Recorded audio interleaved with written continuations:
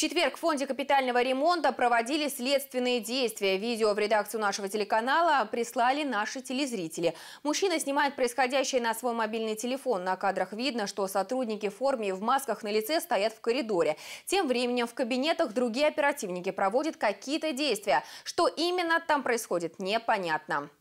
Фонд капитального ремонта многоквартирных домов Тверской области. Вот сейчас мы здесь находимся. Вот приемный, вот их коридор. Вот что там творится. Обыск, ну какие-то процессуальные действия. Вот люди в масках, служащие из коридоров вышли. Фонд это создан для того, чтобы отмывать и воровать. Мы будем следить за развитием событий. Все подробности расскажем в следующих выпусках новостей.